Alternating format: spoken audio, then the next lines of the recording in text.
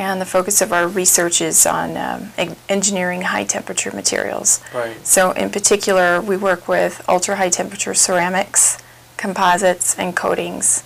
So the, these were very uh, early preliminary results, um, and we have other samples that have shown even better uh, oxidation protection for the carbon-carbon substrate that we're currently working on, and we're going to be testing at the National Solar Thermal uh, Test Facility at Sandia Labs. For me, as an outside uh, researcher in a non-government lab, this test sample would cost me more than $40,000 to test. pour it in, pour it in the die.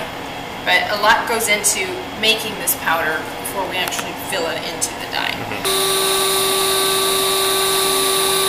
So right now we're aligning the die punch assembly with the powder in it so that it makes contact with the spacers and then the electrode. This is what's inside the furnace right now, and so these punches are going to get really bright, and then this will start to warm up, and then this will obviously get as bright as the punches. Yeah, the type of furnace we have in our laboratory is, um, it's called a spark plasma sintering furnace. And it is unique in the sense that conventional ceramic processing uses a furnace that heats up the material from the outside. So you have your sample sitting inside and the radiant heating basically heats the material.